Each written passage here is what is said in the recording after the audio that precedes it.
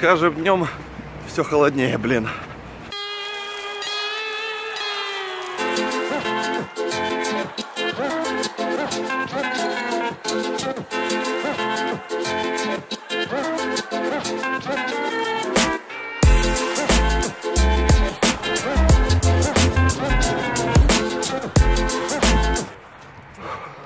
Спасибо. Пожалуйста. Это ё... Это дерево никак не могут спилять. Всем привет! У нас сегодня 21 10 20 года, 14.30.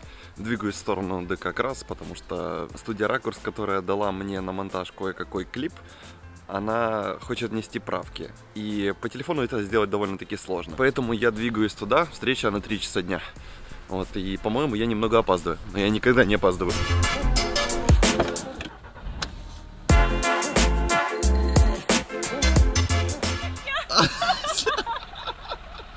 Я думал, это Дэн.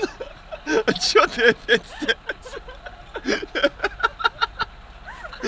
Давай сначала, как вчера. Чё ты здесь делаешь?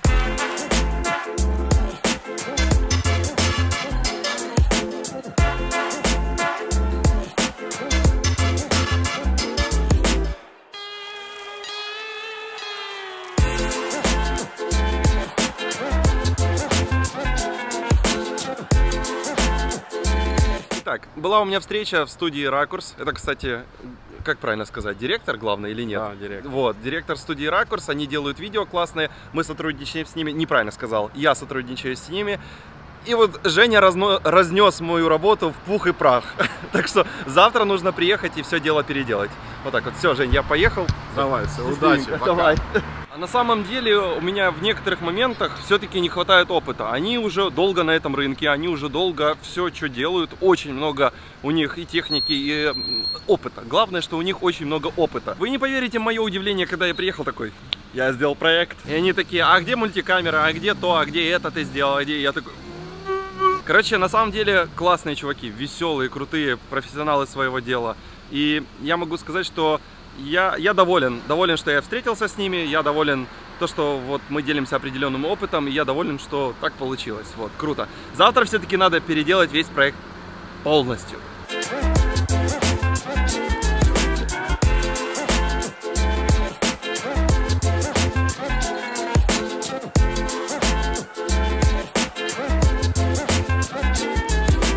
И где мой сын?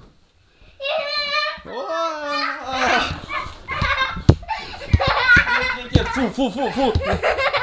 Ладно, привет.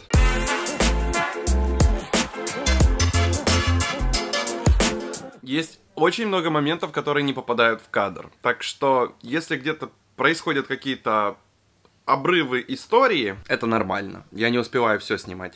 Вот, к примеру, сейчас у нас 7 часов вечера, у меня еще много-много встреч, моментов, которые вот ну, просто я не знаю, как я иногда успеваю, но сейчас вот нужно оптимизировать видео. Да, оптимизация это сейчас большой процесс, потому что если ты маленький канал, тебе нужно понимать, что такое хэштеги, описание ролика, тайминги и так далее. Это вот как раз хороший совет для маленьких каналов. Если вы все правильно оптимизируете и ролик соответствует вашей тематике, то все круто, вы начнете быстро расти.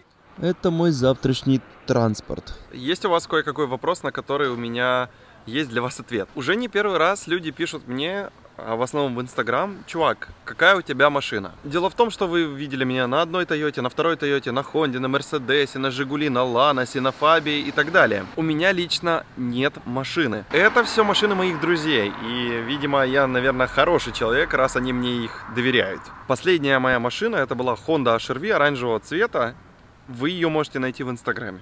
Вот это была моя последняя личная машина. И я надеюсь, что я ответил на ваши вопросы.